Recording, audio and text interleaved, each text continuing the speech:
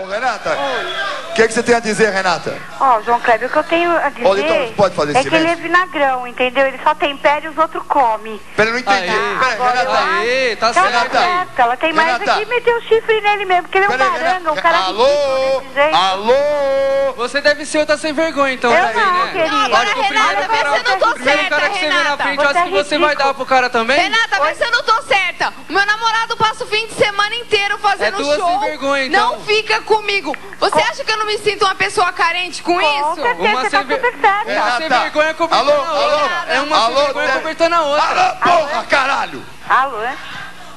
Porra! Eu tô falando, porra! Puta que pariu! Alô, é? Porra! Não põe ninguém no telefone, desliga todo mundo! Porra!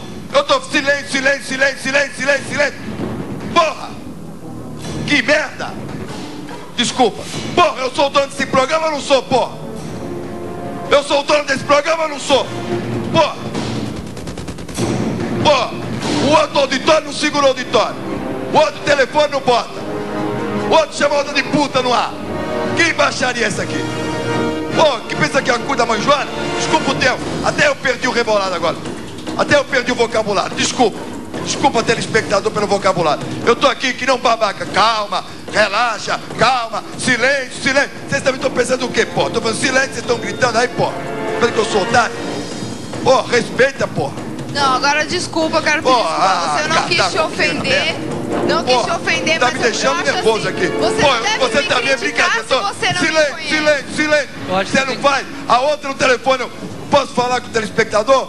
Não deixam eu ouvir a telespectadora falar, porra? Que falta de respeito comigo?